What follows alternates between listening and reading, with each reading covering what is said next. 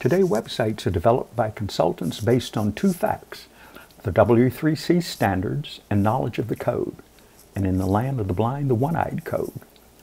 In 1994, the World Wide Web Consortium adopted standards for protocol, browser, Uniform Resource Identifier, Uniform Resource Locator, domain name, validation tools to check the royalty-free open source code for interoperability and optimization.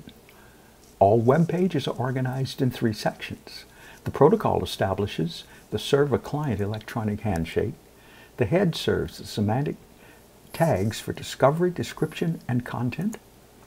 The body serves the image brand and reputation converted to semantic style and scripting codes. The validation tool checks the codes for syntax errors and warnings in a single test. The validation results are color-coded green for valid, red for errors, and blue for warnings. Alexa.com is a free website to check service statistics. The site reveals five service statistics based on the code served. Check the bounce rates because search engines, bots, and crawlers revisit, and client browser bounces are lost opportunities. A small niche of coders develop websites.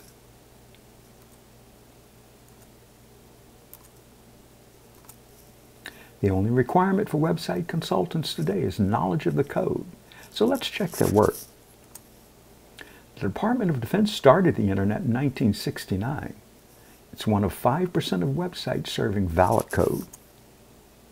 NASA, a very popular website, serves 490% error rate and a 52% bounce rate. The WhiteHouse.gov has a rich interactive multimedia website, serves 90% errors and 65% bounce rate.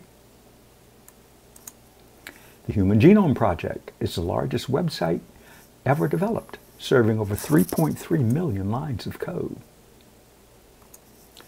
Healthcare.gov is the second largest website, and the costs were disclosed in congressional hearings in 2014.